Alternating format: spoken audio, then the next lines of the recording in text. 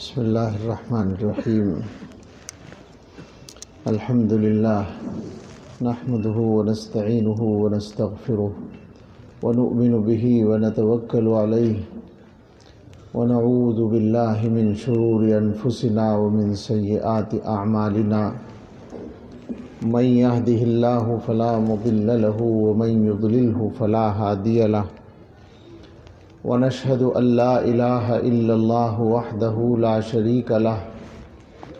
ونشهد أن سيدنا ونبينا ومولانا محمدا عبده ورسوله. صلى الله تعالى عليه وعلى آله وأصحابه وبارك وسلم تسليما كثيرا. أما بعد فأعوذ بالله من الشيطان الرجيم. بسم الله الرحمن الرحيم.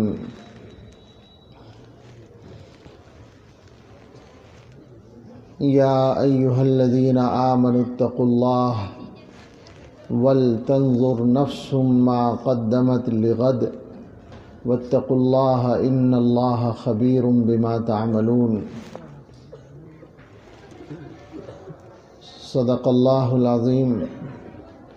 سبحان ربك رب العزة عما يصفون وسلام على المرسلين والحمد لله رب العالمين. اللهم صل على سيدنا محمد وعلى آل سيدنا محمد وبارك وسلم. اللهم صل على سيدنا محمد وعلى آل سيدنا محمد وبارك وسلم. اللهم صل على سيدنا محمد وعلى آل سيدنا محمد مبارک وسلم۔ جہاں میں ہیں عبرت کے ہر سو نمونے، جہاں میں ہیں عبرت کے ہر سو نمونے، مگر تجھ کو اندھا کیا رنگ و بو نے کبھی غور سے بھی یہ دیکھا ہے تو نے، جو معمور تھے، آباد تھے۔ جو معمور تھے وہ محل اب ہیں سونے، جگہ جی لگانے کی دنیا نہیں ہے، یہ عبرت کی جا ہے، تماشا نہیں ہے۔ ملے خاک میں اہل شاں کیسے کیسے، مکی ہو گئے لامکاں کیسے کیسے۔ ہوئے نامور بے نشاں کیسے کیسے۔ زمیں کھا گئی نوجوان کیسے کیسے جگہ جی لگانے کی دنیا نہیں ہے، یہ عبرت کی جا ہے، تماشا نہیں ہے۔ زمیں کے ہوئے لوگ پیوند کیا کیا، ملوک و حضور و خدا وند کیا کیا، دکھائے گا تو زور چند کیا کیا، اجل نے پچھاڑے تنو مند کیا کیا۔ جگہ جی لگانے کی دنیا نہیں ہے۔ یہ عبرت کی جا ہے، تماشا نہیں ہے۔ اجل نے نہ کسرا ہی چھوڑا، نہ دارا۔ اسی سے سکندر سا فاتح بھی ہارا۔ ہر ایک لے کے کیا کیا نہ حسرت سدھارا۔ پڑا رہ گیا، سب یہیں ٹھاٹ سارا۔ جگہ جی لگانے کی دنیا نہیں ہے، یہ عبرت کی جا ہے، تماشا نہیں ہے۔ یہاں ہر خوشی ہے مبدل بصد غم۔ جہاں شادیاں تھیں وہیں اب ہیں ماتم۔ یہ سب ہر طرف انقلابات عالم۔ تیری ذات ہی میں ہیں، تیری ذات ہی میں تغیر ہیں ہر دم۔ جگہ جی لگانے کی دنیا نہیں ہے، یہ عبرت کی جا ہے، تماشا نہیں ہے۔ تجھے پہلے بچپن نے برسوں کھلایا۔ جوانی نے پھر تجھ کو مجنوں بنایا، بڑھاپے نے پھر آ کے کیا کیا ستایا۔ اجل تیرا کر دے گی بالکل صفایا۔ جگہ جی لگانے کی دنیا نہیں ہے، یہ عبرت کی جا ہے، تماشا نہیں ہے۔ یہی تجھ کو دھن ہے، رہوں سب سے بالا۔ سب سے بڑی مصیبت ہم لوگوں کی اس زمانے کی یہی ہے۔ یہی تجھ کو دھن ہے، رہوں سب سے بالا۔ ہو زینت نرالی، ہو فیشن نرالا۔ جیا کرتا ہے کیا یوں ہی مرنے والا۔ تجھے اس نے ظاہر نے دھوکے میں ڈالا۔ جگہ جی لگانے کی دنیا نہیں ہے۔ یہ عبرت کی جا ہے، تماشا نہیں ہے۔ وہ ہے عیش و عشرت کا کوئی محل بھی۔ جہاں تاک میں کھڑی ہو اجل بھی۔ بسب اپنے اس جہل سے تو نکل بھی۔ یہ طرز معیشت اب اپنا، یہ طرز معیشت اب اپنا بدل بھی جگہ جی لگانے کی دنیا نہیں ہے، یہ عبرت کی جا ہے، تماشا نہیں ہے۔ یہ دنیا فانی ہے، محبوب تجھ کو۔ ہوئی واہ، کیا چیز مرغوب تجھ کو؟ نہیں عقل اتنی بھی مجذوب تجھ کو۔ سمجھ لینا اب چاہیے خوب تجھ کو۔ جگہ جی لگانے کی دنیا نہیں ہے۔ یہ عبرت کی جا ہے، تماشا نہیں ہے۔ بڑھاپے سے پا کر پیام قضا بھی، نہ چونکا، نہ چیتا، نہ سنبھلا ذرا بھی۔ کوئی تیری غفلت کی ہے انتہا بھی، جنوں تا بکے ہوش میں اپنے آ بھی۔ جگہ جی لگانے کی دنیا نہیں ہے، یہ عبرت کی جا ہے، تماشا نہیں ہے۔ نہ دل دادے شعر گوئی رہے گا نہ گروی دے شہرہ جوئی رہے گا۔ نہ دل دادے شعر گوئی رہے گا، نہ گروی دے شہرہ جوئی رہے گا۔ نہ کوئی رہا ہے، نہ کوئی رہے گا۔ رہے گا تو ذکر ذکر نکوئی رہے گا۔ جگہ جی لگانے کی دنیا نہیں ہے، یہ عبرت کی جا ہے، تماشا نہیں ہے۔ جب اس بزم سے اٹھ گئے دوست اکثر اور اٹھتے چلے جا رہے ہیں برابر۔ یہ ہر وقت پیش نظر جب ہے منظر، یہاں پر تیرا دل بہلتا ہے کیوں کر؟ جگہ جی لگانے کی دنیا نہیں ہے، یہ عبرت کی جا ہے، تماشا نہیں ہے۔ جہاں میں کہیں شور ماتم بپا ہے، کہیں فقر و فاقے سے آہو بکا ہے، کہیں شکوے جور و مکر و وغا ہے۔ کہیں غرض ہر طرف سے یہی بس صدا ہے۔ جگہ جی لگانے کی دنیا نہیں ہے، یہ عبرت کی جا ہے، تماشا نہیں ہے۔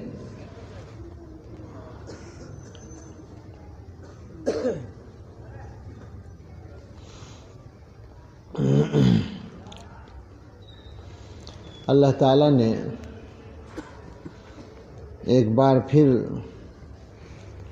ہم لوگوں کو جمع ہونے کی توفیق دی، موقع دیا۔ بہت سے حضرات وہ ہیں جن سے ہر مہینے کی مجلس میں ملاقات ہوتی ہے۔ بہت سے حضرات وہ ہیں جو پہلی بار شریک ہو رہے ہیں۔ ہم سبھی کو شکر ادا کرنا چاہیے اللہ تعالیٰ کا کہ اللہ نے اپنی اصلاح کی فکر لے کر جمع ہونے کی ہمیں توفیق عطا فرمائی اللہ تعالیٰ اس جمع ہونے کو مفید بنا دے، قبول فرما لے۔ ہماری زندگیاں بدلنے کا ذریعہ بنا دے۔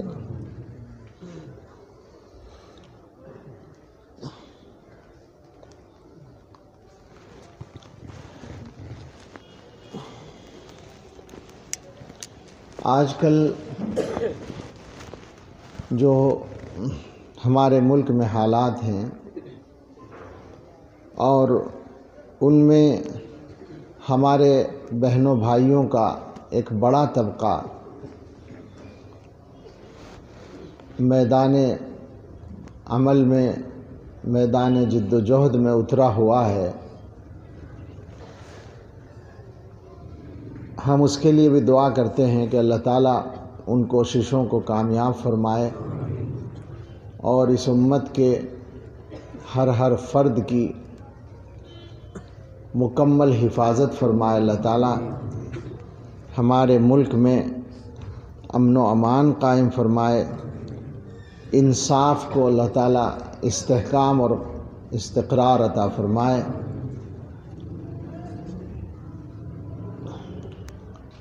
موجودہ حالات میں بہت سے لوگ اس طرح بھی سوچتے ہیں کہ اور کوئی بھی کام نہ کیا جائے سوائے اسی جد و جہد کے۔ اور ایک ذہن یہ بھی ہے کہ جو پہلے سے چلے آ رہے کام ہیں، ان کو بھی چھوڑ کر سب کو اس میں شرکت کرنی چاہیے۔ لیکن جاننے والے جانتے ہیں کہ یہ بات صحیح نہیں ہے، جو معاملات ہیں، جو مشکلات ہیں، ان کے سلسلے میں کوشش کرنا ایک مبارک عمل ہے، ضروری کام ہے، اور جتنے لوگ اس میں شرکت کر سکتے ہوں، حصہ لے سکتے ہوں یا کچھ کردار ادا کر سکتے ہوں، ان کو کرنا چاہیے۔ لیکن تقسیم کار بہرحال ایک مستقل اصول ہے۔ اور ہنگامی حالات میں اگرچہ تقسیم کار کا اصول بھی باقی نہیں رہتا، لیکن بظاہر اس طرح کی بات ابھی نہیں سمجھ میں آتی۔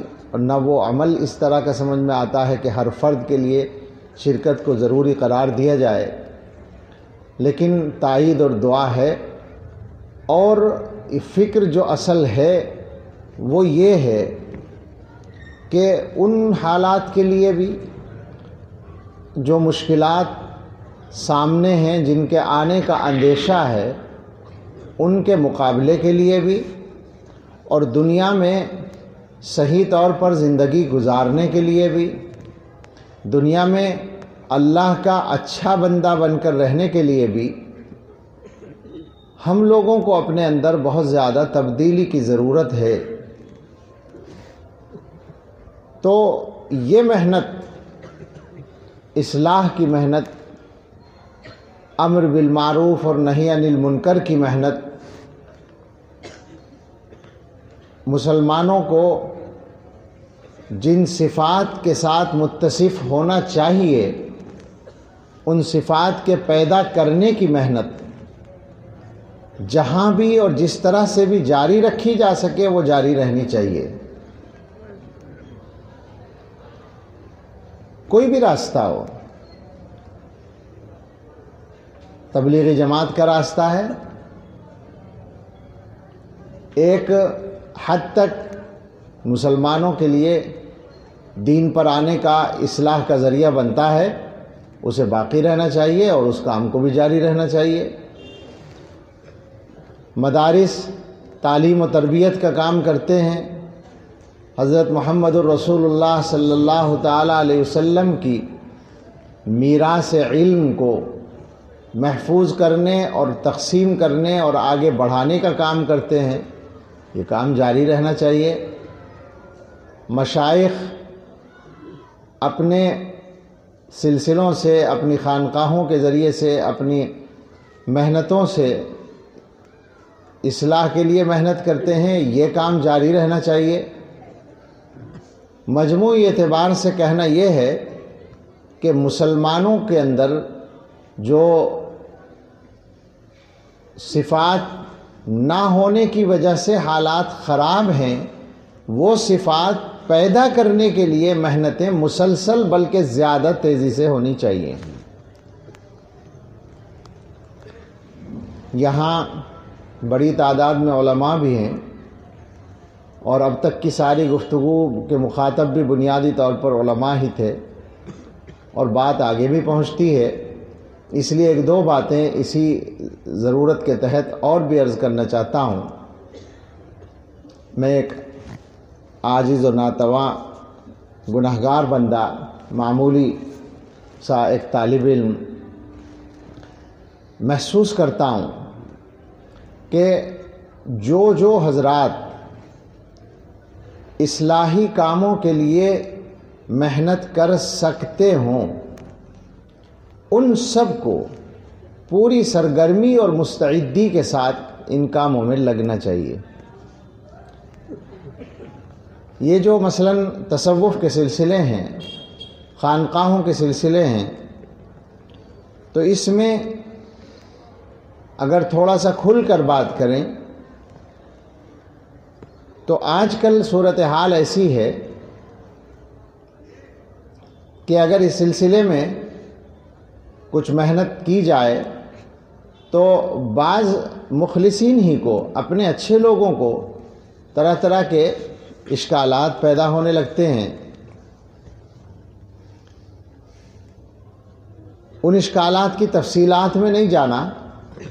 ضرورت ہو تو بات کی جا سکتی ہے، لیکن سر دست بات پہنچانے کے لیے یہ عرض کرنا ہے کہ حالات کا تقاضا یہ ہے، مسلمانوں کے حالات کا، کہ مشائق سلوک وہ کسی بھی سلسلے سے تعلق رکھتے ہوں۔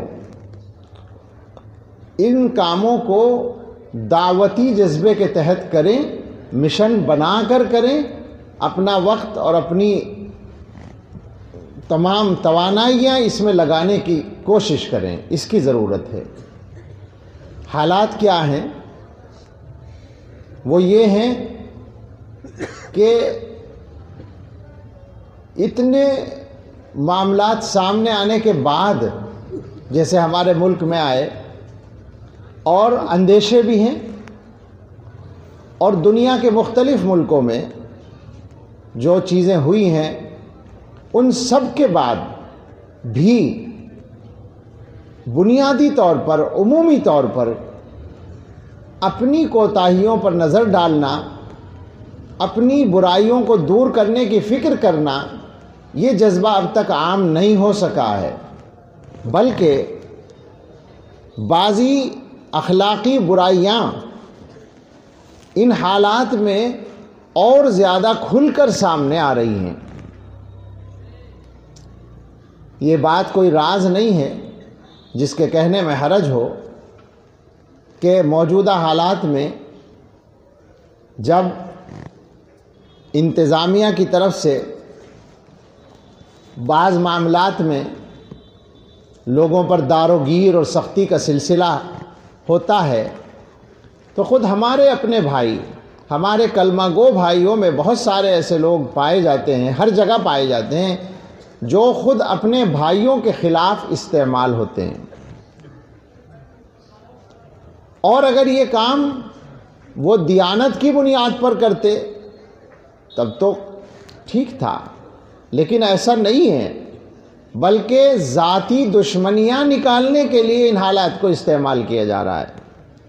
اور اس سے زیادہ گندی بات یہ ہے کہ پیسے کمانے کے لیے کام کیا جا رہا ہے۔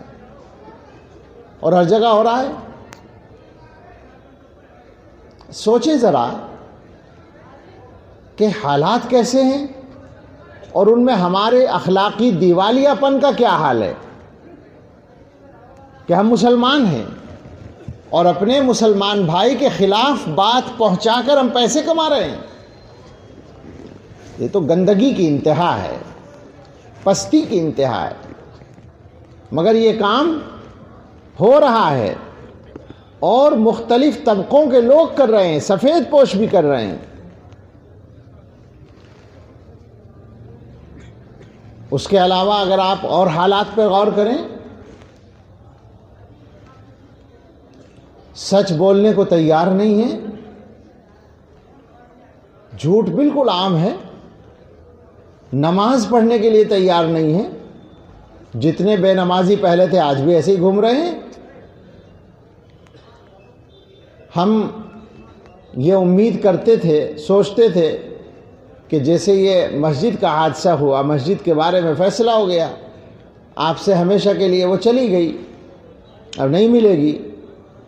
تو یہ خیال آتا تھا کہ شاید بہت سارے مسلمان ایسے سامنے آئیں گے جن کے دل پہ چوٹ لگے گی اور وہ یہ سوچیں گے کہ ہماری مسجدیں ہمارے ہاتھ سے اب نکل رہی ہیں، تو ہمیں اپنی مسجدوں کو آباد کرنے کی فکر کرنی چاہیے، ہمیں نماز کا پابند ہو جانا چاہیے۔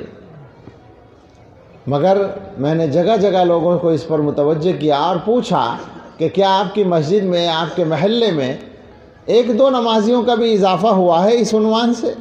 اس ان حالات کے تحت، اس جذبے کے تحت، آپ سے بھی کہتا ہوں، کہیں دیکھا ہے آپ نے؟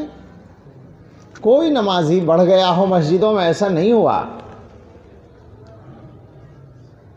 تو آپ سوچیں کہ غفلت کہاں پہنچی ہوئی ہے؟ یعنی قیامت پہ قیامت آتی چلی جاتی ہے اور ہم اسی طرح سوتے رہتے ہیں۔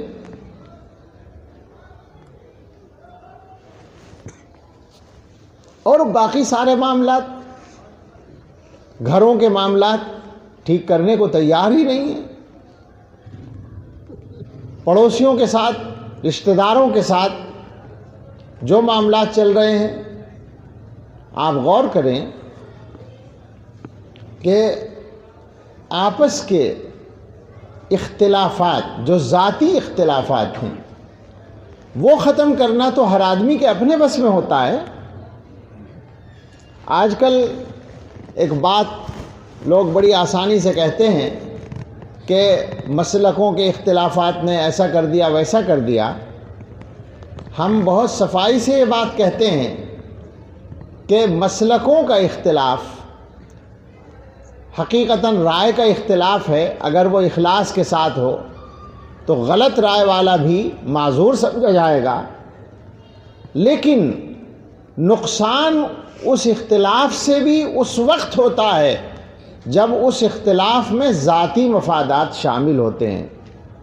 تو اصل نقصان ہے اختلاف ذاتی مفادات کی بنیاد پر کرنے کا۔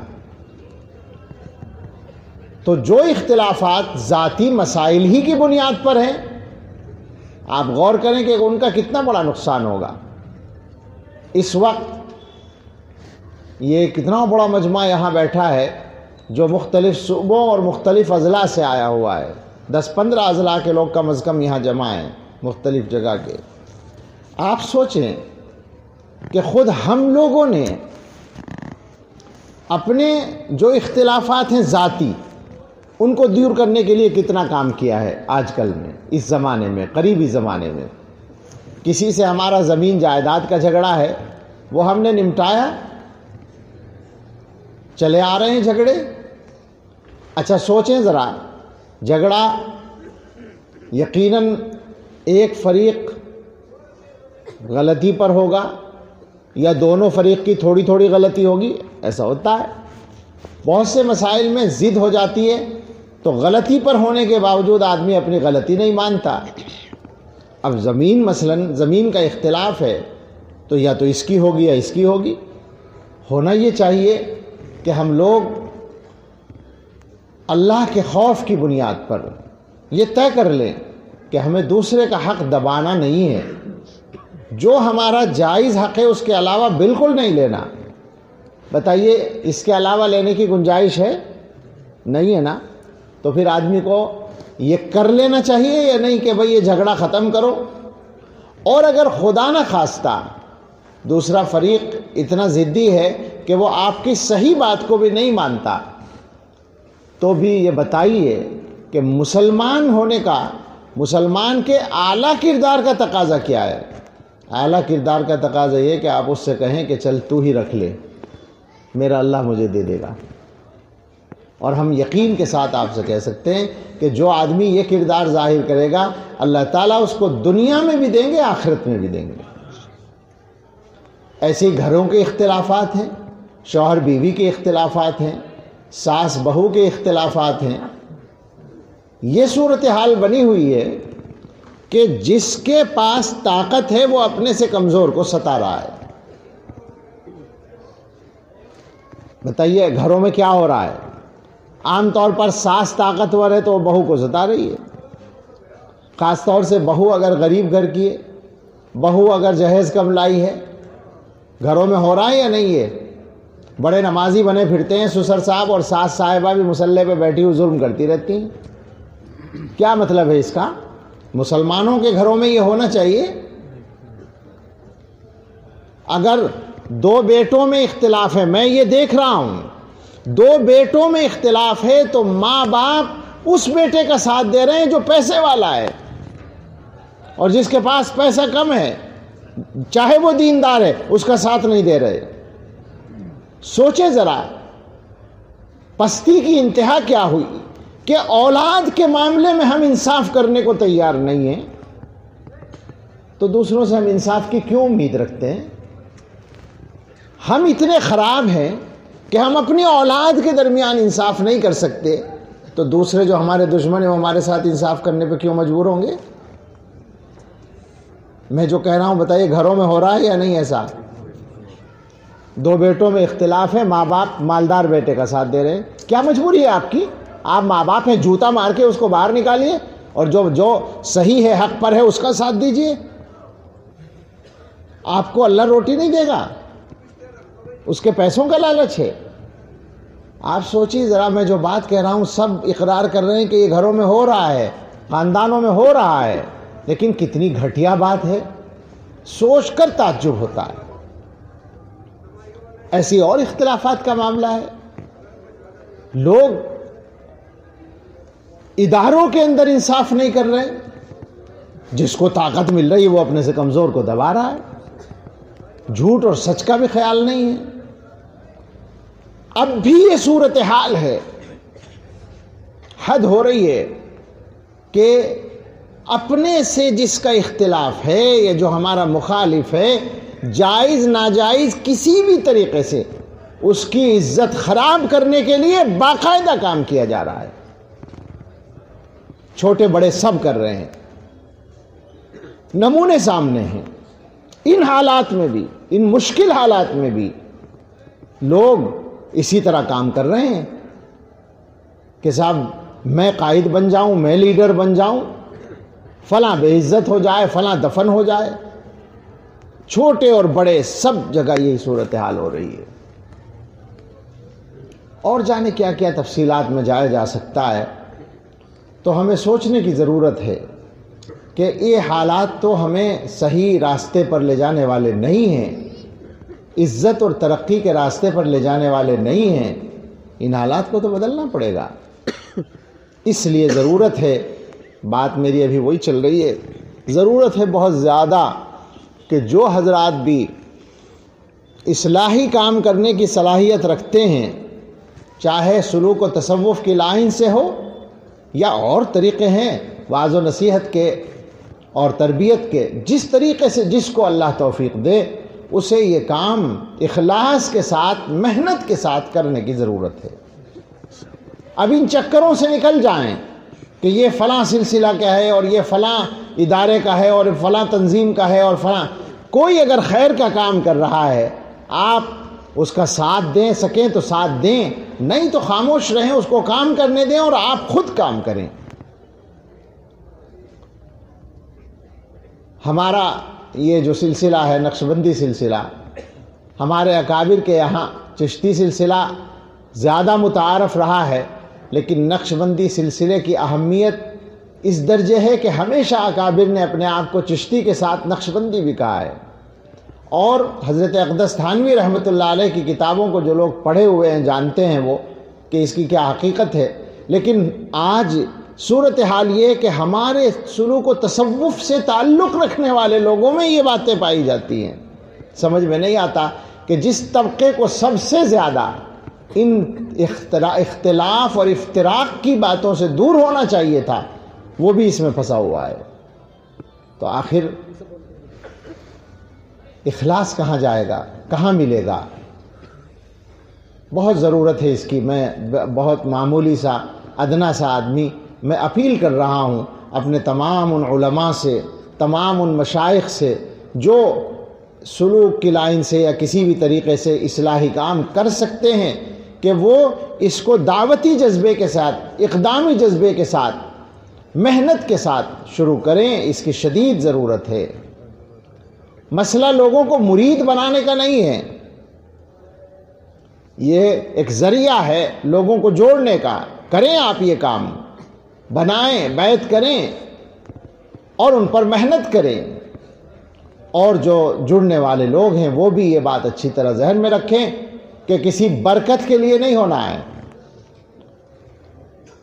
شہرت کے لیے نہیں ہونا ہے۔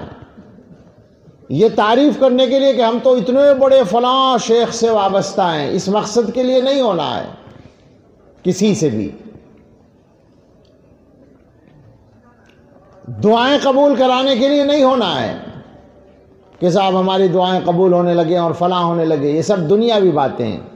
یہ سب دنیاوی مقاصد ہیں۔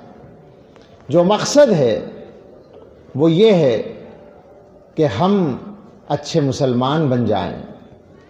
ہمیں گناہوں کی عادتیں پڑی ہوئی ہیں اور گناہ ہمارا پیچھا نہیں چھوڑ رہے ہیں۔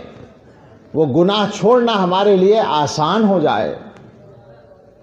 جو اللہ تعالیٰ کے احکام ہمارے ذمے ہیں، ان احکام پر عمل کرنا ہمارے لیے آسان ہو جائے۔ آسان لفظوں میں کہیں کہ ہماری زندگی بدل جائے۔ فی الحال ہم جیسی زندگی گزار رہے ہیں، وہ حقیقت ہے کہ زندگی کہلانے کے لائق نہیں ہے۔ چوبیس گھنٹے اگر کوئی آدمی ہمارے ساتھ گزار لے، تو بدگمان کرنے کے لیے بس کافی ہے۔ پہلے ایسے لوگ ہوتے تھے، اب بھی کچھ ہوتے ہیں، پہلے زیادہ ہوتے تھے کہ ان کے ساتھ رہنے والا آدمی ان کا گرویدہ ہو جاتا تھا، ان کا عاشق ہو جاتا تھا اور ہم نے خود بھی اپنی آنکھوں سے ایسے لوگوں کو دیکھ لیا کہ مدتوں ان کو دیکھتے رہیں اور محبت میں اضافہ ہوتا چلا جائے۔ محبت بڑھتی چلی جائے، ان کی خوبیوں پہ خوبیاں سامنے آتی چلی جائیں۔ انسان تو سب ہیں، گناہ بھی سب سے ہو سکتے ہیں، غلطیاں بھی ہو سکتی ہیں، لیکن ایسی بات جس سے آپ دور ہو جائیں، ایسی کوئی بات نہ سامنے آئے۔ ایسے لوگ ہمیں اللہ تعالیٰ ایسا بنا دے کہ ہم ایسی زندگی گزاریں کہ دیکھنے والا ہم سے یا ہمارے مذہب سے یا ہماری قوم سے بدگمان نہ ہوا کرے۔ تو مقصد اصل یہ ہے کہ زندگی بدلے، ہم اچھے آدمی بن جائیں، اچھے مسلمان بن جائیں، اچھے انسان بن جائیں۔ اس مقصد کے لیے ظاہر ہے کہ محنت کرنی پڑے گی اور اپنے آپ کو بدلنا ہوگا۔ اصل تو ان مجلسوں میں اسی چیز کا کو ذہنوں میں بٹھانے کی کوشش کی جاتی ہے۔ اصل جو کام ہے وہ یہی ہے کہ اپنی زندگی بدلنے کی فکر ہو جائے۔ ہر آدمی سوچے۔ بہت آسان سی میں ایک بات کہا کرتا ہوں، شاید ہر بار کہتا ہوں، ہر جگہ کہتا ہوں، وہ پھر کہتا ہوں کہ یوں سوچیں۔ کہ میری زندگی آج کل جیسی گزر رہی ہے، جب سے بھی میں گویا بڑا ہوا ہوں، مکلف ہوا ہوں اللہ کے احکام کا، اس وقت سے لے کر اب تک جیسی زندگی میں گزار رہا ہوں۔ اگر اب اس وقت میری موت آ جائے، موت تو آ سکتی ہے۔ آ سکتی ہے کیا؟ آنی ہی ہے، لیکن اب بھی آ سکتی ہے اور کچھ دیر بھی ہو سکتی ہے۔ کوئی ہے ایسا آدمی جسے یقین ہو؟ کہ یہ جو ہم بیٹھے ہیں، یہاں سے ہم زندہ ہی اٹھ کے جائیں گے۔ کوئی گارنٹی تو نہیں ہے نا۔ تو اب سوچیں ہم کہ اگر اسی وقت اللہ تعالیٰ ہمیں بلا لیں، تو ہمارا کام کیسا رہے گا اللہ کے یہاں؟ جیسی زندگی ہماری چل رہی ہے، اس زندگی کے ساتھ اگر ہم اچانک اللہ کے یہاں بلا لیے گئے اور ہمیں توبہ کا بھی موقع نہیں ملا، اللہ نہ کرے۔ تو سوچئے، بالکل دل سے سوچئے، دل کو اپنے بتائیے کہ کیا یہ یقین ہے کہ اللہ تعالیٰ سیدھے ہماری مغفرت کا فیصلہ فرما دیں گے؟ اس لائق ہیں ہم؟ یوں اللہ تعالیٰ اپنے بندوں پر رحم کرنا چاہیں تو پھر اللہ کو یہ بھی اختیار ہے کہ وہ کافر کو بخش دیں۔ اللہ کو اختیار ہے، کوئی اللہ سے پوچھ نہیں سکتا۔ لیکن جو اللہ تعالیٰ نے بتایا ہے ہمیں، اس کے اعتبار سے ہم سوچیں کہ ہماری موجودہ زندگی کیا اللہ تعالیٰ کو خوش کرنے والی ہے؟ اللہ کو راضی کرنے والی ہے؟ کیا ہم جائیں تو اللہ تعالیٰ ہمارا ہاں اللہ کے فرشتے ہمارا استقبال کر سکتے ہیں کہ صاحب آؤ، تم جنت کے لیے آؤ، تم نے بڑی اچھی زندگی گزاری ہے۔ سوچے ایسی زندگی تو ہم لوگوں کی نہیں ہے۔ جب ایسی زندگی نہیں ہے تو پھر بدلنے کی ضرورت تو ہے نا؟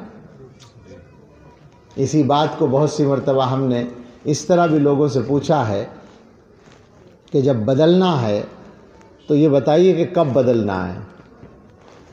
عام طور سے ہماری غفلت کا ایک حصہ یہ بھی ہے کہ یوں کہنے کو تو ہم یہی کہتے ہیں، عقلی طور پر بھی یہی سمجھتے ہیں کہ موت کبھی بھی آ سکتی ہے۔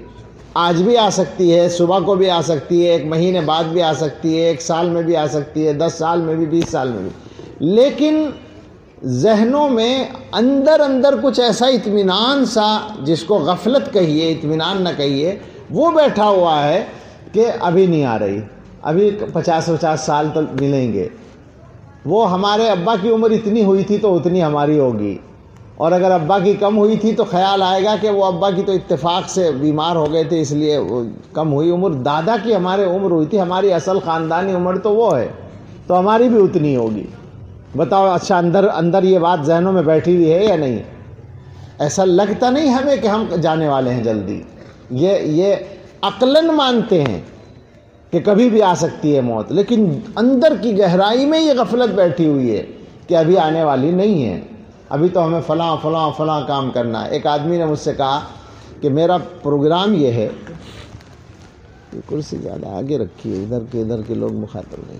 پروگرام یہ ہے کہ میں پچاس سال کی عمر تک محنت کی زندگی گزاروں گا اور اس کے بعد بیس سال عبادت کروں گا۔ تو یہ نوجوانی کی بات تھی اس شخص کی اور میرا ہم عمر تھا وہ تو میں بھی اس وقت نوجوان ہی تھا۔ پھر بھی میں نے اس کو کچھ تھوڑا سا کہا اور اب سوچتا ہوں کہ اگر وہ اب کہتا تو میں اس سے یہی پوچھتا کہ بھائی اللہ تعالیٰ سے کچھ طے کرا کے لائے ہو۔ کیا ہے؟ اتخذ عند اللہ وہ ہے نا؟ ہاں۔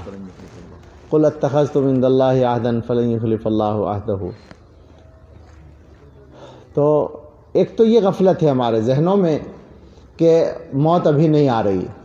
میں نے بعض جگہ لوگوں سے پوچھا کہ بھائی، کب بدلنا ہے اپنے آپ کو؟ تو سوچتے ہیں لوگ، کیا جواب دیں؟ تو پھر میں کہتا ہوں کہ اتنا تو مانیں گے کہ موت سے پہلے بدلنا ہے۔ ظاہر بدلنے کا موقع موت کے بعد تو ہے نہیں۔ موت سے پہلے ہی بدلنا ہے اپنے آپ کو۔ تو اس کے بعد جب لوگ کہتے ہیں کہ ہاں موت سے پہلے بدلنا ہے، تو میں پوچھتا ہوں کہ مرنے کا پروگرام کب ہے؟ اس پر سب کو ہنسی آتی ہے۔ لیکن ایمانداری سے سوچیں تو واقعی ہم نے کچھ پروگرام بنا رکھے ہیں مرنے کے بارے میں۔ پچاس سال کے بعد، ساٹھ سال کے بعد، اسی سال کی عمر میں، نوے سال کی عمر میں، ستر سال سے کم تو سوال ہی پیدا نہیں ہو، ستر سے ہم کم تو ہم میں سے کسی نے بھی طے نہیں کر رکھا ہے۔ لیکن کب جانا ہوگا کچھ پتہ نہیں ہے۔ یہ عجیب چیز ہے جس کو اللہ تعالیٰ نے اپنی تک محدود رکھا ہے، محفوظ رکھا ہے۔ ایک دوسری بات اور ہے کہ ہمارے ذہنوں میں غفلت کا ایک پہلو یہ بھی ہے کہ ہم یہ سوچتے ہیں کہ اللہ تعالیٰ تو معافی کر دیں گے۔ یہ شیطان کا دھوکہ ہوتا ہے زندگی میں عمل کے اعتبار سے۔ مرنے کے وقت اللہ سے یہ امید ہو تو بہت اچھا ہے۔ لیکن زندگی میں اللہ کا خوف غالب ہو اور یہ معلوم رہے، یہ یاد رہے کہ اللہ تعالیٰ جس طرح معاف کرنے والے ہیں، اللہ تعالیٰ عذاب دینے والے بھی ہیں، سزا دینے والے بھی ہیں۔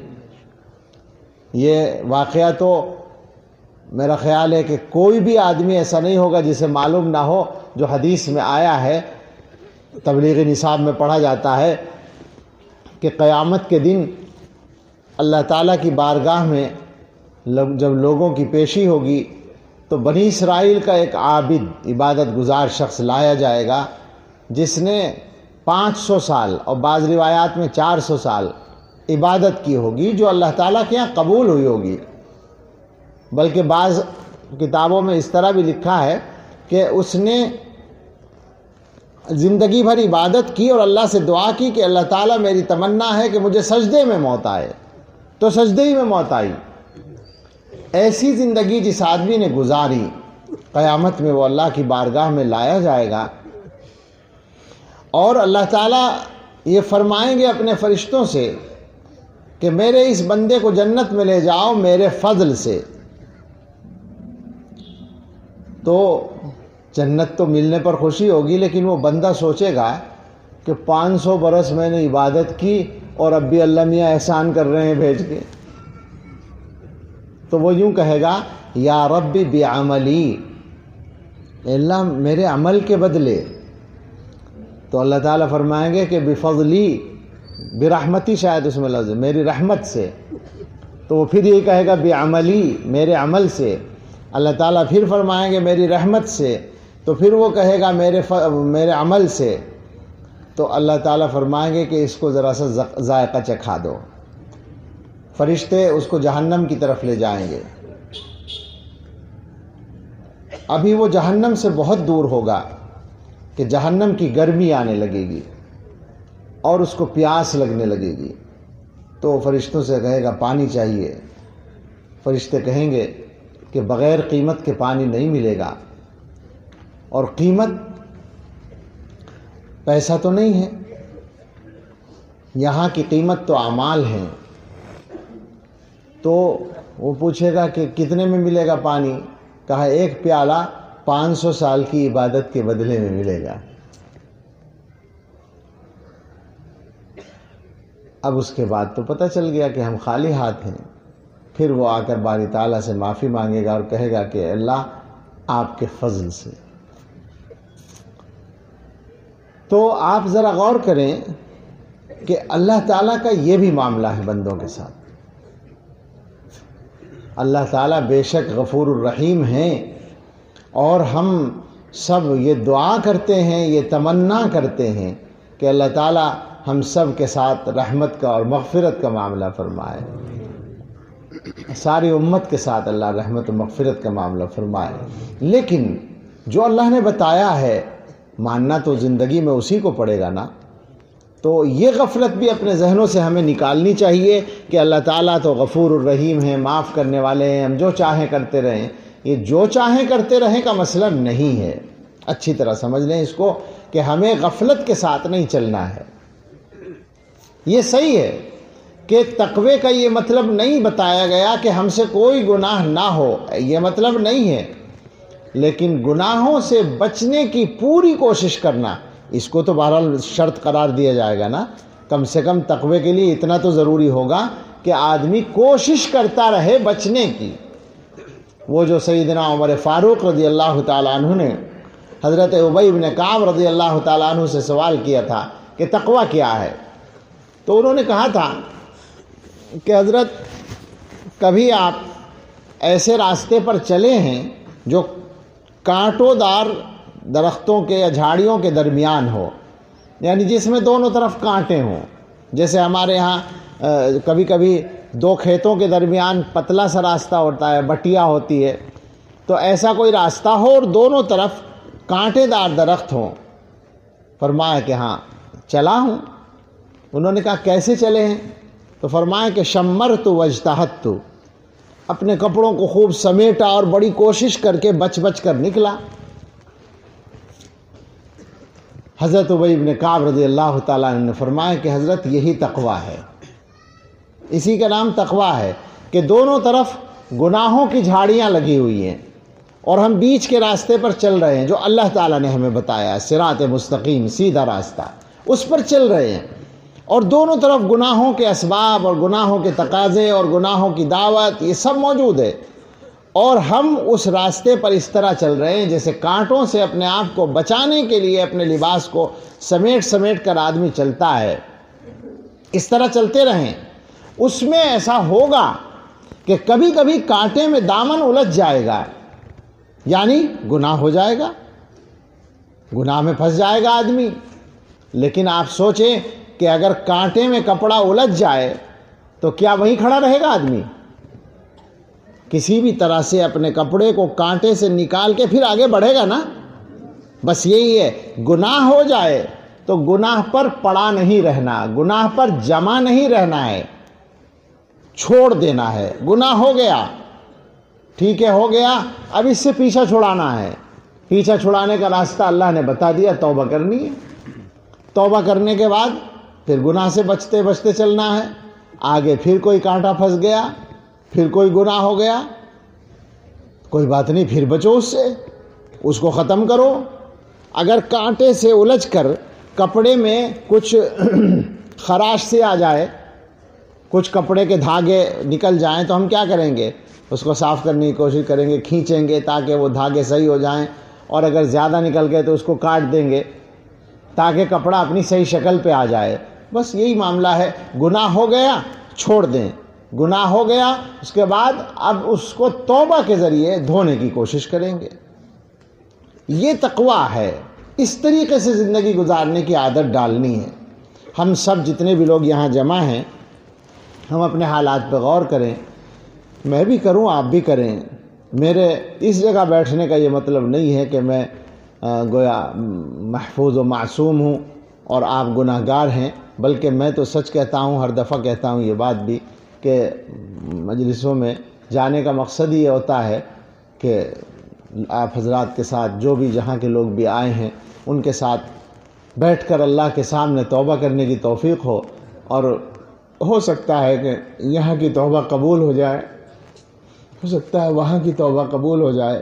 جہاں جہاں موقع ملے زمین کے حصوں پر، ظاہر ہے کہ ہم نے زمین کے بہت سے حصوں پر گناہ بھی کیے ہیں۔ تو زمین کے بہت سارے حصوں پہ ہمیں توبہ بھی کرنی چاہیے۔ ہو سکتا ہے کہیں کی توبہ ہی اللہ تعالیٰ کو پسند آ جائے، قبول ہو جائے۔ غور کرنا یہی ہے کہ ہم گناہوں کے مسئلے میں خاص طور سے کیسی زندگی گزار رہے ہیں۔ ہم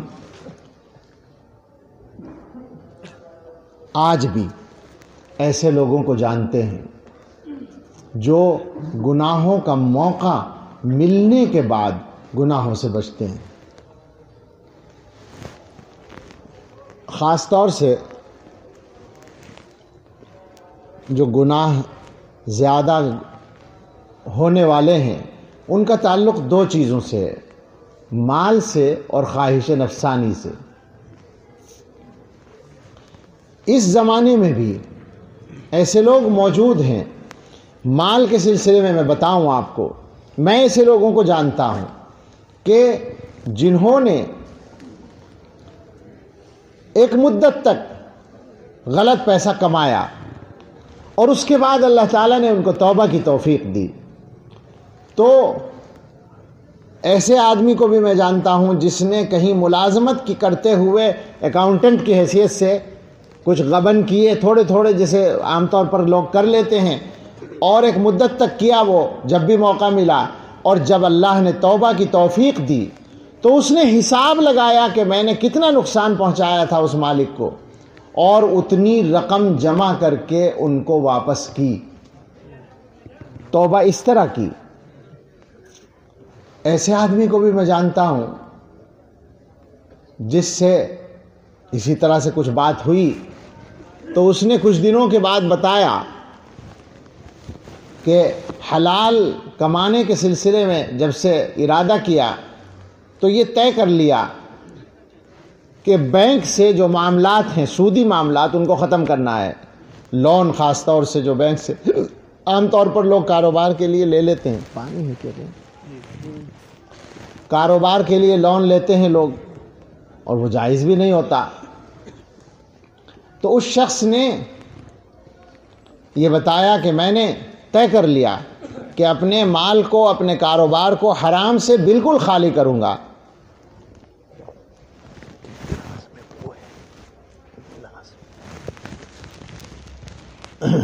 بتا دیجیے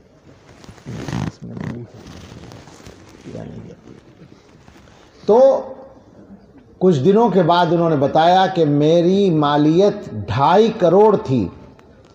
اس میں سے دو کروڑ دس لاکھ گھٹ گئی ہے، اب میں صرف چالیس لاکھ کی مالیت پہ آ گیا ہوں۔ لیکن میں نے طے کر رکھا ہے کہ میں حلال ہی کماؤں گا۔ اور مجھے یقین ہے کہ اب انشاءاللہ میرے ہاں برکت ہوگی۔ تو مال کے سلسلے میں اس طرح سے توبہ کرنے والے آج کے زمانے میں موجود ہیں۔ اور خواہشات نفسانی کے سلسلے میں، اس میں بھی آدمی بہت زیادہ پھسلتا ہے۔ اس میں، اس زمانے میں ہم جیسے گناہ گاروں کو رشک آتا ہے، ایسے لوگوں کو متعین طور پر ہم جانتے ہیں، متعین طور پر، ذاتی طور پر جانتے ہیں کہ جن کو گناہوں کی دعوت ملتی ہے۔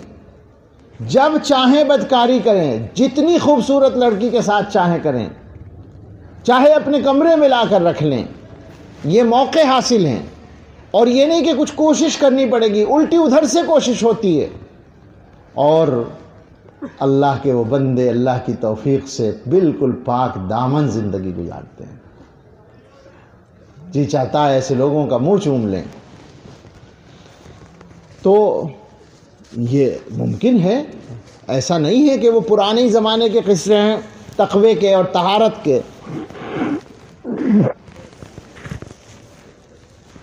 آپ نے پڑھا ہوگا، سنا ہوگا۔ غالباً سلیمان ابن یسار مشہور تابعی ہیں۔ بڑے اولیاء میں سے ہیں، تابعین میں سے ہیں۔ ان کا واقعہ کہ ایک مرتبہ وہ سفر میں نکلے، راستے میں ایک جگہ پڑاؤ کیا، تو رفیق سفر ان کے قریبی بستی میں چلے گئے۔ کچھ کھانے کا سامان ان کو چاہیے تھا یا جو بھی ضرورت کی چیزیں تھیں خریدنے کے لیے۔ یہ تنہا رہ گئے۔ اپنے خیمے میں۔ تھوڑی دیر کے بعد ایک عورت آئی اور اس نے کچھ اشارہ کیا۔ تو انہوں نے یہ سمجھا کہ کچھ مانگ رہی ہے تو جو کھانا رکھا ہوا تھا اپنے پاس وہ اس کو دینے لگے۔ تو اس نے کہا، مجھے یہ نہیں چاہیے۔ ہاں پھر کیا چاہیے؟ تو اس نے پھر صاف لفظوں میں کہا کہ جو چیز مرد سے عورت چاہتی ہے وہ چاہیے۔ تو حضرت سلیمان ابن یسار رحمۃ اللہ علیہ رونے لگے۔ یہ سوچ کر کہ گویا عورت مجھ سے گناہ کا لالچ رکھ رہی ہے، بس اسی بات پر ان کو رونا آ گیا۔ اللہ کے خوف سے، اللہ کے ڈر سے بہت روئے، تو ان کی وہ حالت دیکھ کر وہ عورت بھی شرمندہ ہو کے واپس چلی گئی۔ ساتھی آئے انہوں نے دیکھا کہ رونے کی کیفیت ہے، پوچھا کیا بات ہو گئی؟ تو قصہ سنایا کہ ایسا واقعہ پیش آیا، یہ آزمائش پیش آئی۔ رات کو جب سوئے تو خواب دیکھا۔ اللہ کے پیغمبر حضرت یوسف علیہ نبی جنا علیہ السلاۃ والسلام تشریف لائے۔ انہوں نے بڑھ کے ملاقات کی۔ حضرت یوسف علیہ السلام کی شخصیت وہ ہے جس کو اسی طرح کی آزمائش پیش آئی تھی۔ اور اللہ نے ان کی حفاظت فرمائی تھی۔ تو انہوں نے یہی کہا حضرت سے کہ حضرت آپ کا واقعہ بڑا عجیب ہے کہ زلیخہ نے آپ کو بہلایا، پھسلایا، لیکن آپ بچ گئے۔ تو حضرت یوسف علیہ السلاۃ والسلام نے فرمایا، مقام ابوا والی عورت کا واقعہ اس سے زیادہ عجیب ہے۔ یعنی مطلب یہ کہ میں تو رسول، پیغمبر ہوں۔ پیغمبر تھا، تم تو امتی ہو، تم نے، تمہیں اللہ نے بچایا۔ تو یہ واقعات ہمیشہ پیش آتے رہیں اس امت میں اور آج بھی ہیں۔ ہم لوگ اگر پختہ ہو جائیں، سچی توبہ کر کے، پکا ارادہ کر لیں کہ ہمیں گناہوں سے بچنا ہے، تو اللہ تعالیٰ آسان فرما دیتے ہیں۔ میں عبرت پکڑتا ہوں اور تعجب ہوتا ہے جب اس طرح کے لوگوں کا مجھ سے رابطہ ہوتا ہے اور وہ بات سناتے ہیں، واقعہ سناتے ہیں، سچے واقعہ سنا ابھی پرسوں ہی ایک آدمی بات کر رہا تھا۔ تو میں نے اس سے یہی لفظ کہا کہ بھائی جی چاہتا ہے کہ تمہاری پیشانی چوم لیں یہ یہ تقوا ہے، اسی کا نام تقوا ہے۔ تو بہرحال ہمیں سب کو یہ فکر کرنی ہے کہ اپنے دلوں میں، اپنی زندگیوں میں تقوا پیدا کیا جائے۔ دو باتوں پر، ظاہر ہے کہ بہت ساری باتوں پر گفتگو ہو سکتی ہے اور بہت ساری صفات ہیں جو اپنے اندر پیدا کرنے کی ضرورت ہے۔ لیکن اس مجلس میں اب بات کو سمیٹنے کے لیے میں یہ عرض کرتا ہوں کہ دو چیزوں پر خاص طور سے اس وقت توجہ کریں۔ ایک تو حلال کھانے پر۔ چونکہ آدمی کی غذا سے اس کے تقوی کا بہت زیادہ تعلق ہے۔ قرآن کریم میں اللہ تعالیٰ نے حضرات انبیاء علیہ السلام کو مخاطب کر کے جو بات فرمائی ہے، یا ایوہ الرسل کلو من الطیبات وعملو صالحا۔ اے رسولو، حلال پاکیزہ چیزیں کھاؤ اور نیک عمل کرو۔ حضرات مفسرین فرماتے ہیں کہ جب قرآن کریم میں دو باتیں ایک ساتھ ملا کر کہی جاتی ہیں تو ان کا آپس میں کوئی تعلق ہوتا ہے۔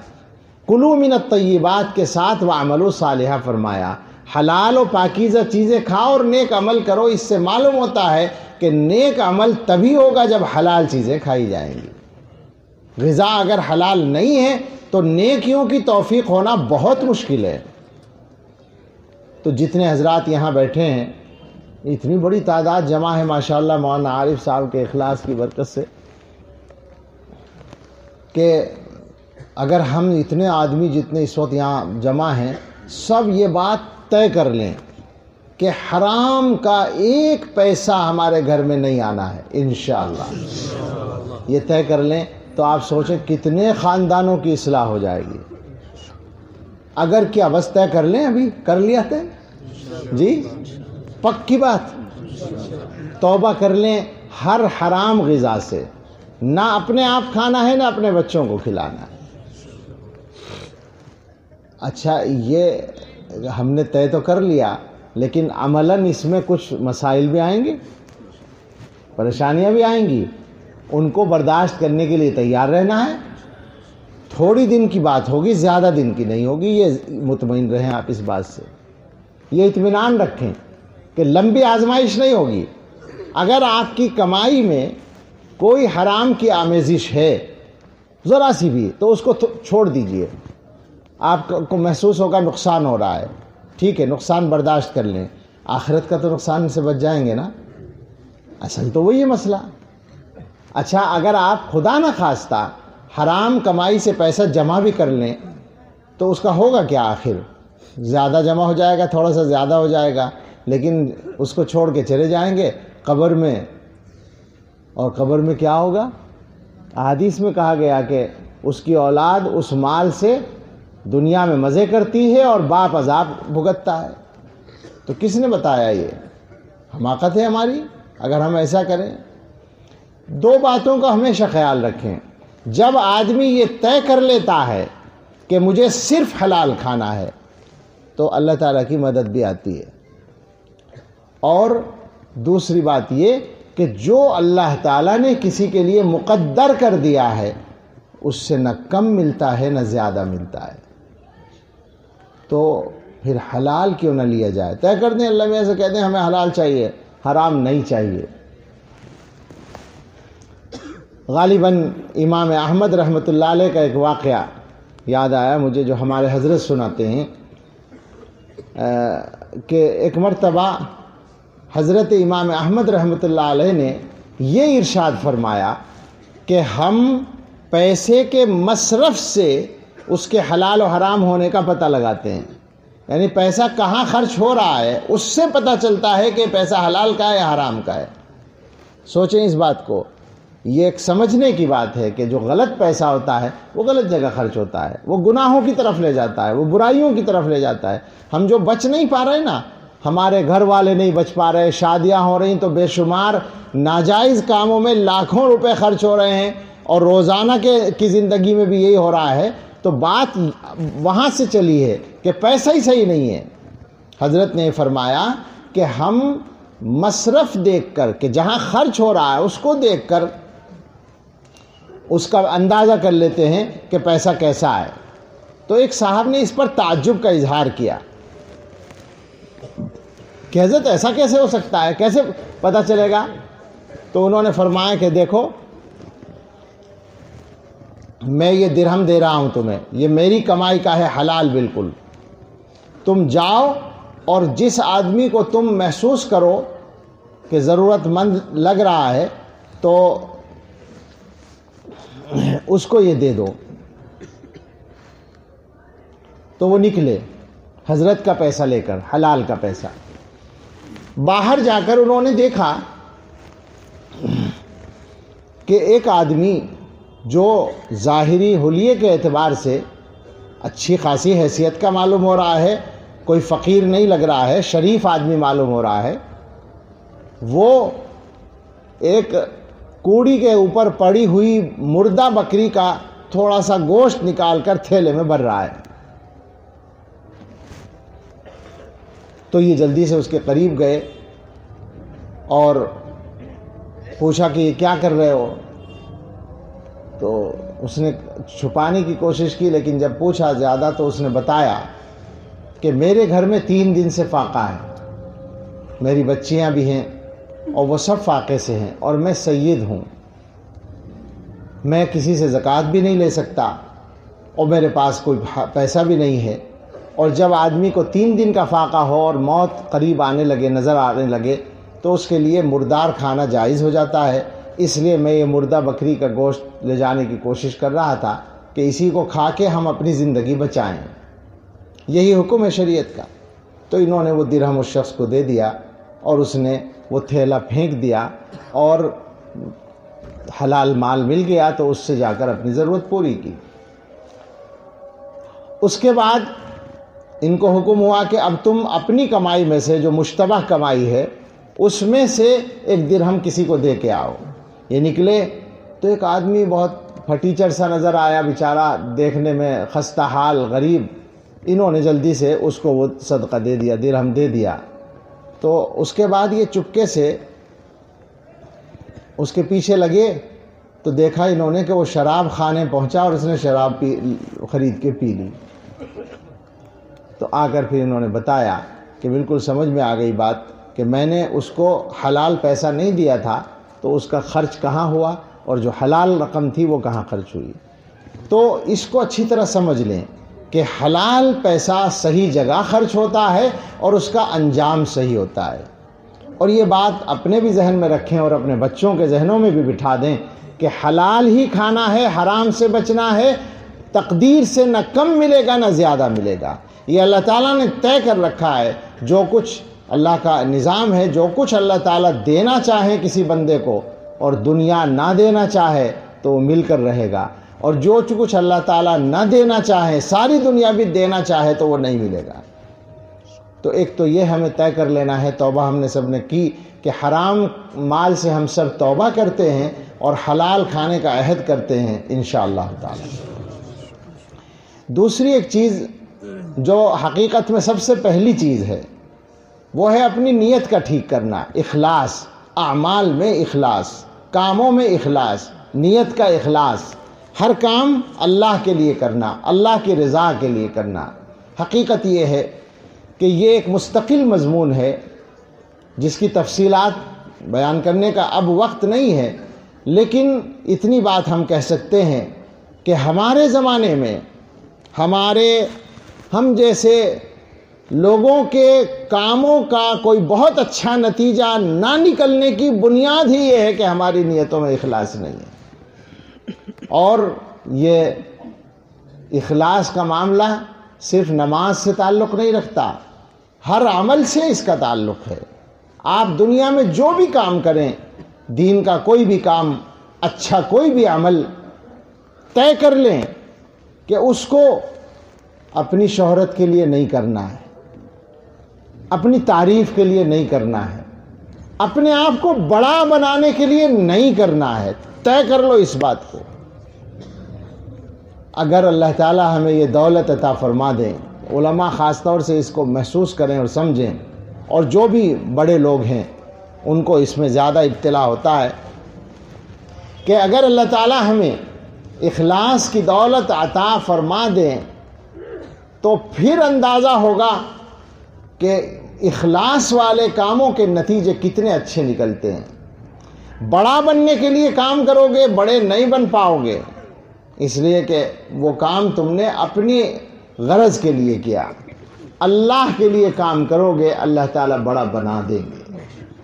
بالکل عقلی سی بات ہے۔ اس کو سمجھیں کہ دنیا کے جتنے بھی مقاصد ہوں اگر ان کے لیے کوئی آدمی عمل کرے تو وہ سب مقاصد فانی ہیں۔ کیا خیال ہے؟ یعنی مثلا ہم نے کوئی عمل کیا اس مقصد کے لیے کہ ہماری شہرت ہو، تو شہرت کا جو مقصد ہے وہ فانی ہے، ختم ہونے والا ہے، شہرت ہمیشہ نہیں رہتی۔ ہم نے کوئی عمل کیا پیسہ کمانے کے لیے تو پیسہ فانی ہے۔ ہم نے کوئی عمل کیا اور کوئی دنیا کا مفاد حاصل کرنے کے لیے، اپنے آپ کو بڑا بنانے کے لیے تو یہ مقصد فانی ہے۔ جتنی بھی دنیاوی اغراض ہیں، وہ سب فانی ہیں۔ لہذا ان کے لیے جو عمل کیا جائے گا، وہ عمل بھی فنا ہو جائے گا۔ اور جو عمل اللہ کے لیے کیا جائے، تو اللہ تعالیٰ باقی ہیں۔ جب عمل اللہ کے لیے ہوگا، تو وہ عمل بھی باقی رہے گا۔ اس عمل کے اثرات بھی باقی رہیں گے۔ آپ یقین کریں اللہ کی ذات عجیب ذات ہے، وحدہ لا شریک لہو لم یزل ولا یزال۔ ان کی، ان کے نام کی تاثیر عجیب ہے۔ جب اللہ کا نام ہی آ جائے کسی کام میں، تو اس کام کی شان الگ ہو جاتی ہے۔ تو جو کام اخلاص سے کیا جاتا ہے، وہ قائم رہتا ہے، وہ باقی رہتا ہے۔ اور وہ باقی ایسا رہتا ہے کہ صدیوں اور ہزاروں سال باقی رہتا ہے۔ قیامت تک باقی رہتا ہے، پھر جنت تک لے جائے گا وہ عمل۔ وہ باقی ہی رہے گا، اس لیے کہ اس کے ساتھ اللہ تعالیٰ کا نام جڑ گیا۔ بس اسی نقطے پر آ کر اپنی توجہ اللہ کی ذات کی طرف مرکوز کر لیں اور یہ ذہن میں بٹھا لیں کہ اس لائن میں آ کر جو آدمی ذکر کی محنت کرتا ہے اللہ کے نام کی محنت کرتا ہے، اللہ کا نام لیتا ہے، اللہ کو یاد کرتا ہے، اپنے دل میں اللہ کا نام بٹھاتا ہے۔ تو اس کے دل کے اندر بھی الگ بات پیدا ہو جاتی ہے۔ بہت سے لوگ پہلے سے بیت کا تعلق رکھتے ہیں۔ ہم سے یا کسی بھی صاحب سلسلہ آدمی سے۔ تو ان سب سے یہ کہنا ہے کہ جو ذکر بتایا جائے، چاہے اس کا جو بھی طریقہ ہو سنت و شریعت کے مطابق اہل حق مشائق کی طرف سے جس کو جو ذکر بتایا گیا ہو، اس ذکر کا بہت زیادہ اہتمام کریں۔ اس لیے کہ اسی ذکر سے اصل میں انسان بدلتا ہے۔ دل جو ہے، گناہوں سے گندہ ہوتا رہتا ہے، برائیوں سے گندہ ہوتا رہتا ہے۔ اللہ تعالیٰ کا نام جب دل پر پڑتا ہے، دل کے اندر جاتا ہے، تو دل کی کیفیت الگ ہو جاتی ہے۔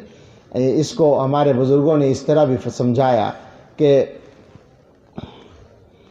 زمین پر اگر کوئی ناپاکی گر جائے تو اس کے پاک کرنے کا ایک طریقہ تو یہ ہو سکتا ہے کہ اس کو دھویا جائے۔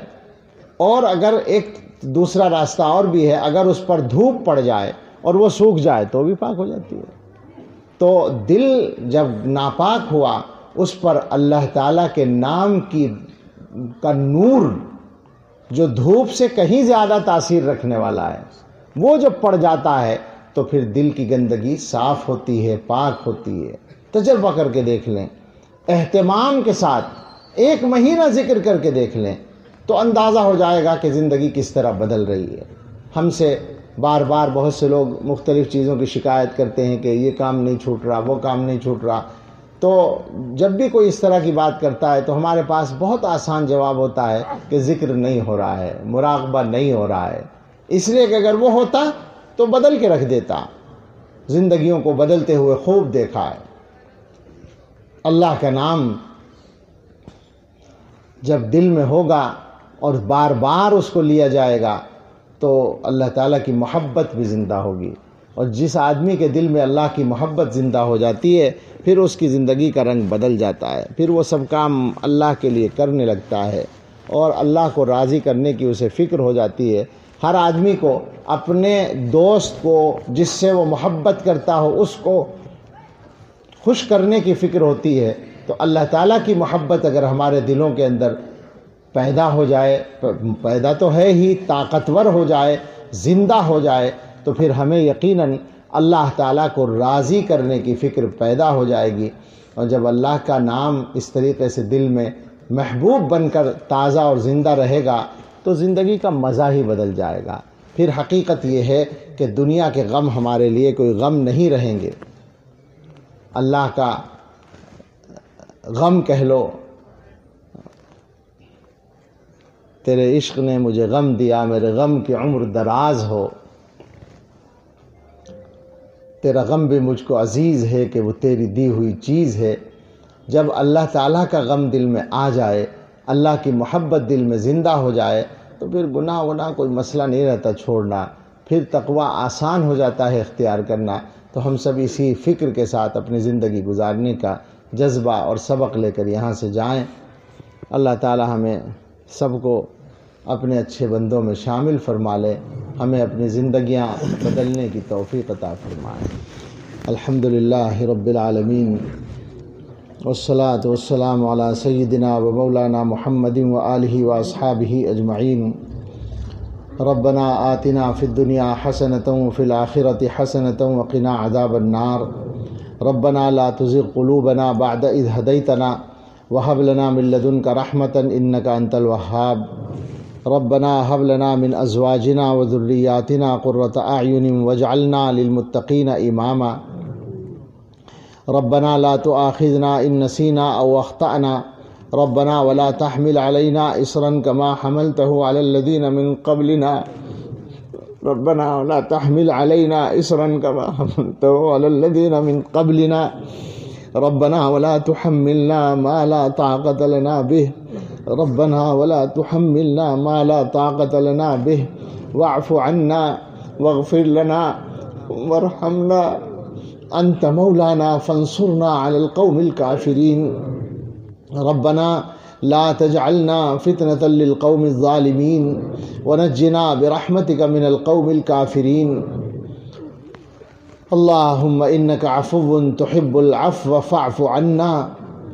اللهم إنك عفو تحب العفو فاعف عنا. اللهم إن قلوبنا ونواصينا وجوارحنا بيدك لم تملكنا منها شيئا فإذا فعلت ذلك بنا فكن أنت ولينا. واهدنا إلى سواء السبيل. اللهم لك الحمد شكرا ولك المن فضلا. اللهم إنا نسألك التوفيق لمحاب لمحابك من الأعمال، وصدق التوكل عليك، وحسن الظن بك. سبحان خالق النور. اللهم لا تهلكنا فجاءه، ولا تأخذنا بغته، ولا تغفلنا عن حق ولا وصية. اللهم اقسم لنا من خشيتك ما تحول به بيننا وبين معصيتك. اللهم اقسم لنا من خشيتك ما تحول به بيننا وبين معصيتك ومن طاعتك ما تبلغنا به جنتك ومن اليقين ما تهون به علينا مصائب الدنيا ومتعنا بأسماعنا وأبصارنا وقوتنا ما أحييتنا واجعل الوارث منا واجعل ثأرنا على من واجعل ثأرنا على من ظلمنا وانصرنا على من عادانا. ولا تجعل مصيبتنا في ديننا. ولا تجعل مصيبتنا في ديننا. ولا تجعل الدنيا أكبر همنا. ولا مبلغ علمنا. ولا غاية رغبتنا. ولا تسلط علينا من لا يخافك فينا ولا يرحمنا. اللهم زدنا ولا تنقصنا. وأكرمنا ولا تهنا. وآثرنا ولا تؤثر علينا وأرضنا وارض عنا وأدخلنا الجنة ونجنا برحمتك من النار. أصلح لنا شأننا كله ولا تكلنا إلى أنفسنا طرفة عين. اللهم أصلح لنا شأننا كله ولا تكلنا إلى أنفسنا طرفة عين. اللهم إنك تسمع كلامنا وترى مكاننا وتعلم سرنا وعلانيتنا اللهم إنك تسمع كلامنا وترى مكاننا وتعلم سرنا وعلانيتنا. لا يخفى عليك شيء من أمرنا. ونحن البائسون الفقراء المستغيثون المستجيرون المجلون المشفقون المقرون المعترفون بذنوبنا. نبتهل إليك ابتهال المذنب الذليل. نسألك مسألة المسكين. نسألك مسألة المسكين. نبتهل إليك ابتهال المذنب الذليل. وندعوك دعاء الخائف الضرير دعاء من خضعت لك رقبته وفاضت لك عبرته وذل لك جسمه. ورغم لك أنفه كن من رؤوف الرحيمة يا خير المسؤولين ويا خير المعطين كلنا جارا من شر خلقك أجمعين أن يفرط علينا أحد منهم وأن يطغى عز جارك وتبارك اسمك لا إله إلا أنت اغفر لنا اللهم إنا نسألك الفوز في القضاء ونزل الشهداء وعيش السعداء ومرافقة الأنبياء والنصر على الأعداء. إنك سميع الدعاء. اللهم إنا نجعلك في نحورهم ونعوذ بك من شرورهم. اللهم إنا نجعلك في نحورهم ونعوذ بك من شرورهم. اللهم إنا نجعلك في نحورهم ونعوذ بك من شرورهم. اللهم إنا نعوذ بك من جهد البلاء ودرك الشقاء وسوء القضاء وشماتة الأعداء اے اللہ، ہم نے جو یہ دعائیں مانگی اللہ ہمارے لیے، ہمارے اہل و عیال کے لیے، ہمارے متعلقین کے لیے اور اس امت مسلمہ کے ہر ہر فرد کے لیے قبول فرما لیجیے اے اللہ گناہ معاف کر دیجیے۔ اے اللہ گناہوں، ہمارے گناہوں کا معاملہ ایسا ہے کہ معافی کے علاوہ کوئی راستہ نہیں ہے ہمارے لیے۔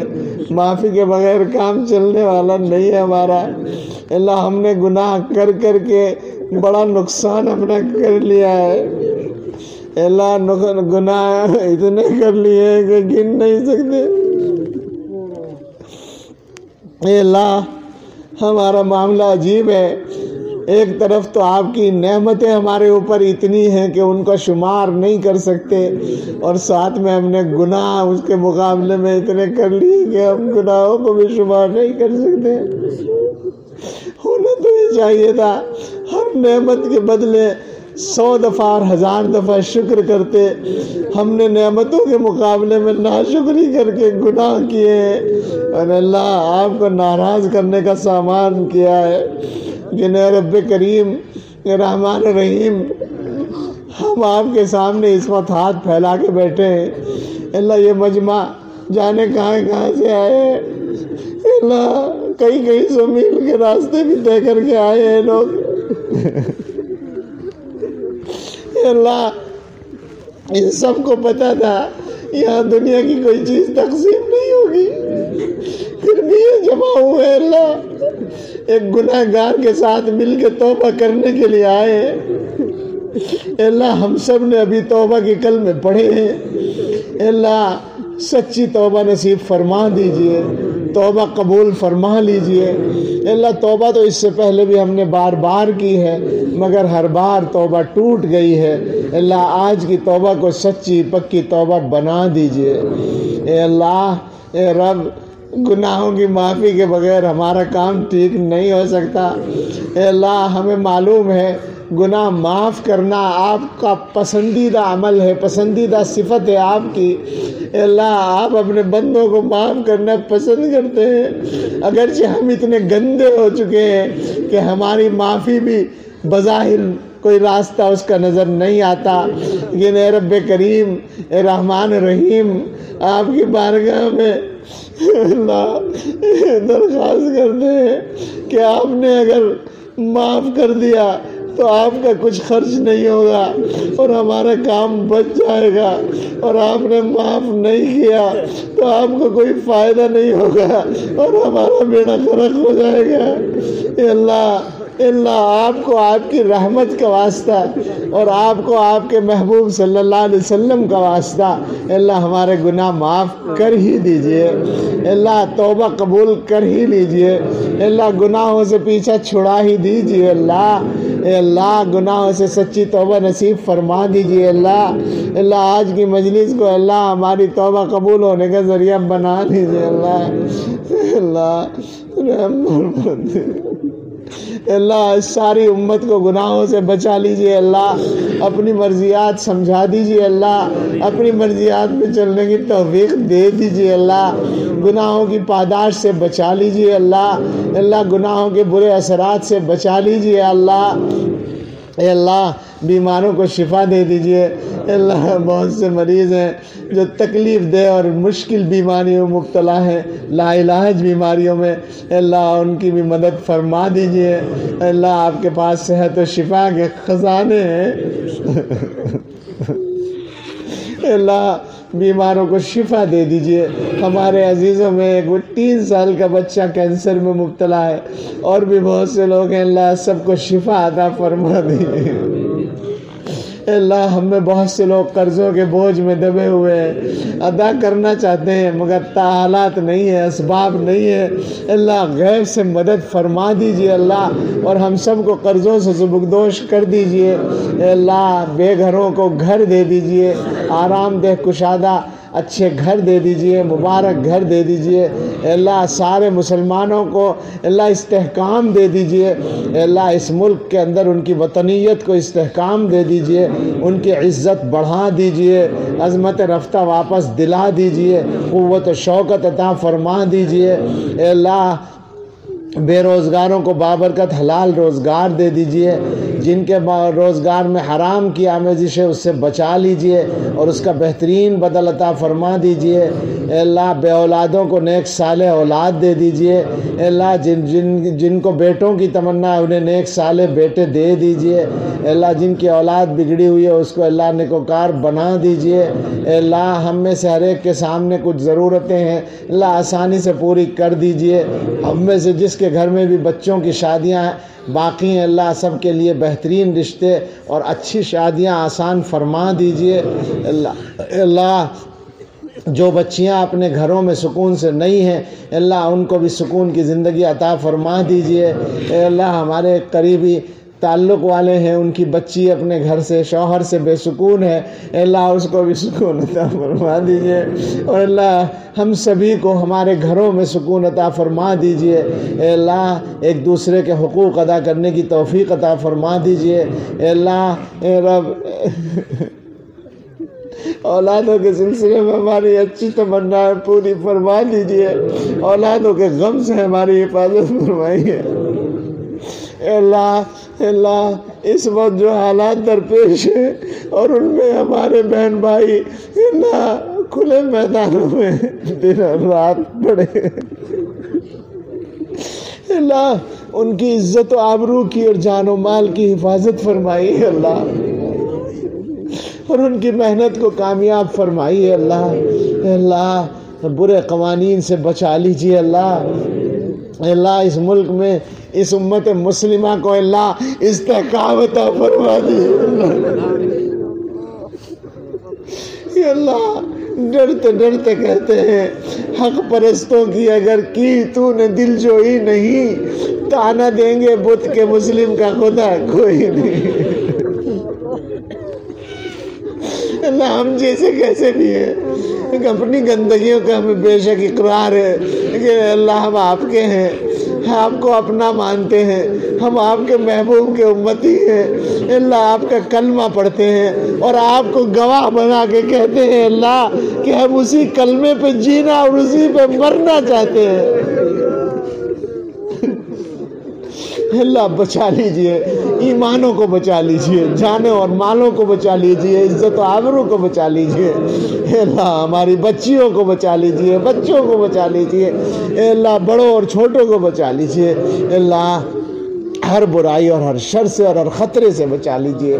اے اللہ، اے رب، رحمت نازل فرما دیجیے۔ پوری امت پہ رحمت کی خاص نظر ڈال دیجیے۔ اللہ، اے اللہ حرم شریفین مسجد اقصار اور ہر مسجد کی حفاظت فرمائیے اللہ دارالعلوم دیوبند اور ہر ہر مدرسے کی حفاظت فرمائیے اللہ اللہ دعوت و تبلیغ کے کام کی بھی حفاظت فرمائیے اللہ اللہ جو خانقاہیں چل رہی ہیں، شریعت و سنت کے مطابق اہل حق مشائق کی، اللہ ان کی بھی حفاظت فرمائیے اللہ، اے اللہ اس مدرسے کو بھی ترقی عطا فرمائیے، اللہ اللہ، ان ان کو ہماری طرف سے جزائے خیر عطا فرمائیے، اللہ، اے اللہ، ہم سب کے آنے کو قبول فرما لیجیے اللہ، جمع ہونے کو مبارک فرما دیجیے اللہ، اور وقت پر جدا ہونے کو بھی مبارک فرما دیجیے اللہ، ہم سب کے دلوں کی جائز تمنائیں پوری کر دیجیے اللہ، جو توبہ کی ہے اسے قبول کر لیجیے اور ہم سب کو سچی توبہ نصیب فرما دیجیے ہمیں ہمارے حضرت کا اور ہمارے بزرگوں کا فیض عطا فرما دیجیے اکابر دیوبند کا فیض عطا فرما دیجیے اللہ،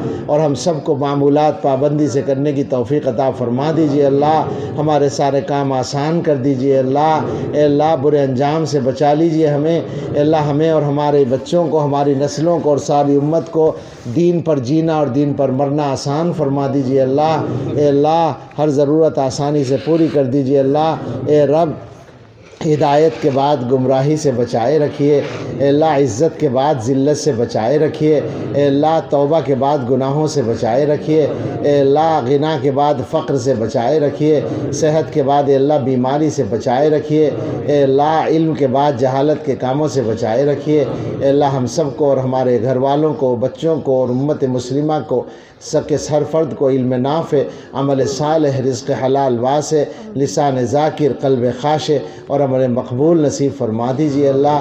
اے اللہ، ہر خیر کا سوال کرتے ہیں اور ہر شر سے پناہ چاہتے ہیں۔ اللہ، ہم سب کو، پوری امت کو اپنی پناہ میں لے لیجیے اللہ۔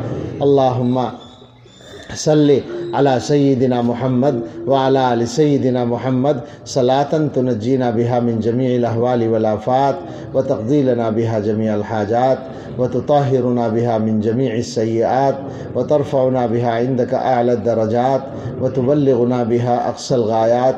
من جميع الخيرات في الحياة وبعد الممات إنك على كل شيء قدير. سبحان ربك رب العزة عما يصفون. وسلام على المرسلين.